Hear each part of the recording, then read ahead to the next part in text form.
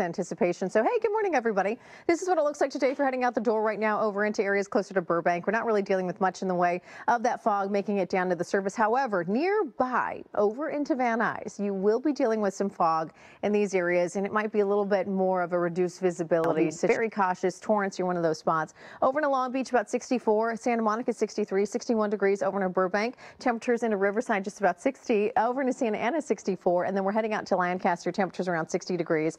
And then then moving forward over to downtown Los Angeles, we're going to make it up to about 83 we're degrees. Not budging too much from where we were just yesterday over in the valleys in our Inland Empire. Like, then heading for areas closer to the coastline. That looks good. 74. Our mountain area is about 78 degrees with sunshine coming on through. Looks really pretty there. And then finally, the high desert community is about 100 degrees happening. All right, we'll have um, more coming up in the full forecast. Some, at least cloud coverage over into Burbank, Long Beach, about 64 degrees. We do have some cloud coverage out there, some fog into Van Nuys. It looks pretty clear in parts of Burbank too. So it really is patchy. So if you are going to be commuting along, you just want to prepare yourself for the possibility of having to deal with some of this fog this morning. Over into areas of Los Angeles, just about 63 degrees. We're on our way to about 60 over into Ontario. Temperatures into We're going to heat up to the 80s degrees. and it looks like the upper 80s and some low 90s out there as we get into the valley communities later on this afternoon. Uh, we have really clear skies tonight, so hanging on to that at 7 p.m. it's 77 degrees. And then here's what's going to happen over the next couple of days. Now we do have an area of low pressure that's going to make its way down into Southern California